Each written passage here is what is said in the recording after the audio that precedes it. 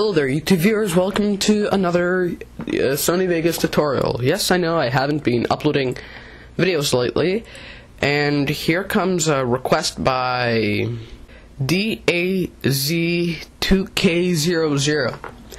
Hey, hi, can you tell me how I can make objects move by themselves in Sony Vegas Pro?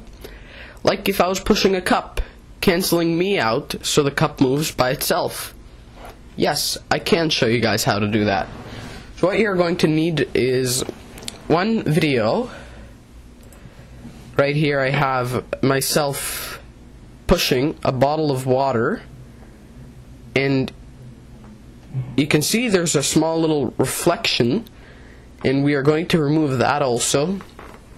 What you're going to need to have is a video of yourself pushing the bottle and a blank image.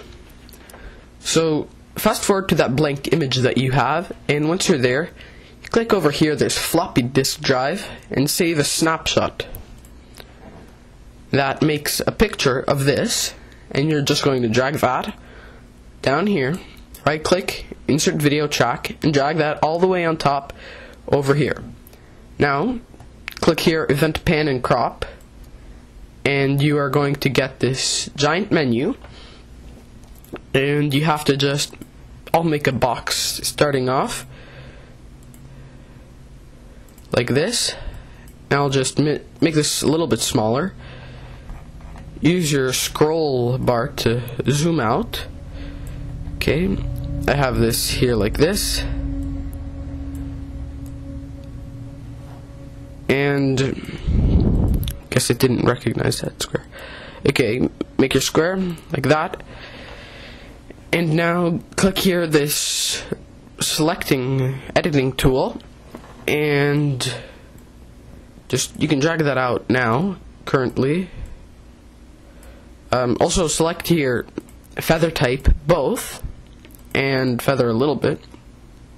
Now here drag across your timeline up until the part where your finger comes into the picture.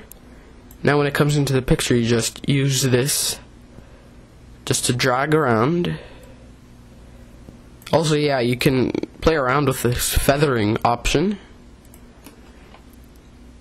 So you just, like this, just make it bigger.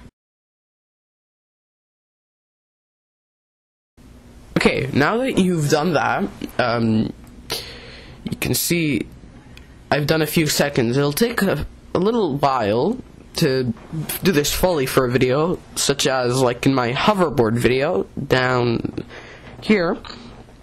You can select. Um, I have an example of this feature, um, and that's about it for this video. Thank you very much for watching. Don't forget to comment and subscribe.